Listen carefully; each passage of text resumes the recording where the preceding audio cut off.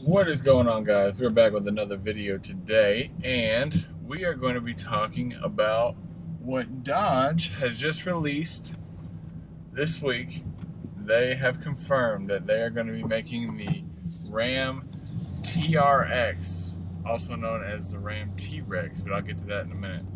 So what um, Dodge has essentially done is, they, you know, they've put a Hellcat motor in the Charger, in the Challenger, in the Jeep, the Trackhawk. Now they put one in the Durango. Now they have put one in the 1500. So that is going to be a 702 horsepower motor, a little bit less than the original Hellcat 707, with 650 pound pound feet of torque. And the starting price, I believe, before options is $71,000. So that's a little bit more than um, your Hellcat, around the same price as a Red Eye for a Charger or Challenger, but it's actually cheaper than a Trackhawk, which is a base price I believe is 85. And I'm curious to find out what the price is for the Durango coming out. They have not released that yet, but Dodge is also releasing, they call it the Launch Edition um, of the TRX, and that will be on sale for ninety-two thousand. I just read an article yesterday where they actually have sold out of the Launch Edition of these trucks, so they will begin. I think you can order one at the end of this year, 2020. And there'll be a 2021 model. Um, so stay tuned for that coming up. But as you can see, I'll put some pictures up here on the screen. This is what the truck looks like um, here. And you can see it looks super aggressive. We have giant uh, air intake uh, hood with the air intakes on it, functional air intake um, for the motor.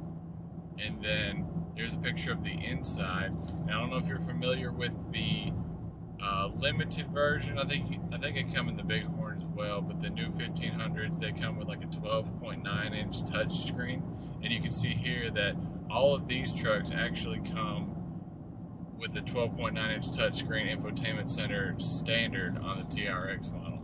Um, so that's a plus because it looks super nice. This interior looks amazing, um, as you can see from the pictures. But also, let's talk about its competitor, the Raptor. So now, what what Dodge kind of went through was that they kind of played on this whole Raptor's the only off-road truck available, blah blah blah, and they went ahead and made the TRX, also known as the T-Rex, which I think is hilarious because of the fact that T-Rex is so much bigger than badder than a Raptor and it eats raptors, etc. Um, and I think that's just kind of like a uh, they're just poking fun at Ford at this point.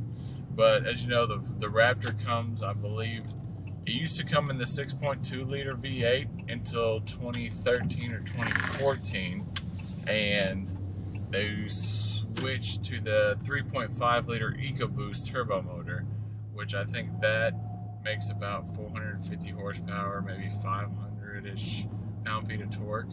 Um, and that the regular Raptor starts, I believe, at 58,000. So it's a little bit less than the uh, new and upcoming TRX.